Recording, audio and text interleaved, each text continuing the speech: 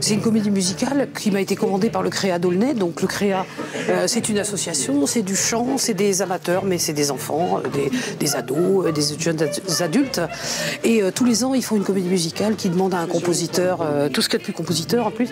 Donc moi, je suis un peu variété là-dedans. Et voilà, ils m'ont proposé de faire ça. J'avais envie de raconter une histoire d'Indien.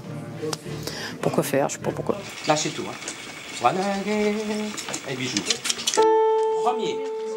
Stop. Premier. Il n'y a pas à discuter. Didier Grosjean est un garçon qui, qui, euh, qui, est un excellent pédagogue, formidable, et qui en plus sait très très bien aussi euh, gérer les, les égaux, les choses comme ça. C'est-à-dire que euh, c'est très égalitaire. En plus, ça me va bien. Il n'y a pas de petite star. Il n'y a pas toi, tu chantes bien, donc on va te mettre devant. Un casting, c'est un casting. Comment savoir si mon chat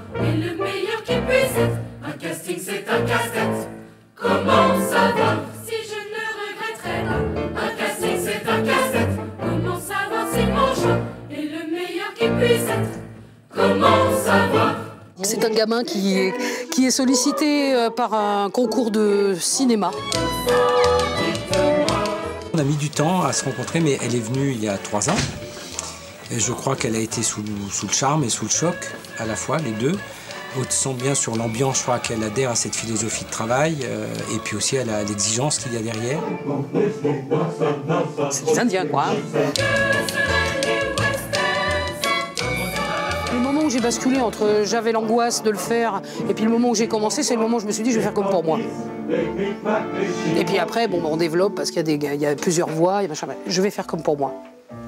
Voilà. Et donc euh, j'ai fait des chansons. C'est une belle aventure aussi parce qu'il y a une transmission des grands et ça c'est quand même super. C'est un rêve pour les enfants, pour les enfants, euh, pour les gens qui sont artistes et puis qui ont une enfance euh, d'artiste un peu. ouais, c'est le rêve bien sûr, bien sûr.